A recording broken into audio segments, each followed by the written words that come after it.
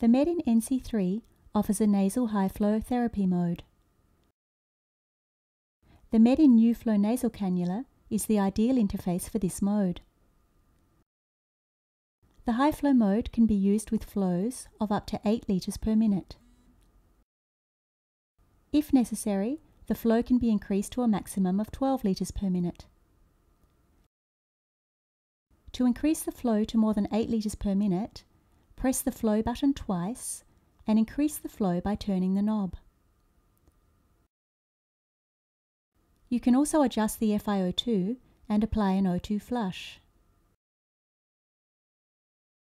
The range of oxygen for the oxygen flush can be set between plus 5, plus 10 or plus 15% above the current FiO2. It is essential that the high flow cannulas do not occlude more than 50% of the nares to ensure effective airway washout. The display provides information about the battery status and FiO2.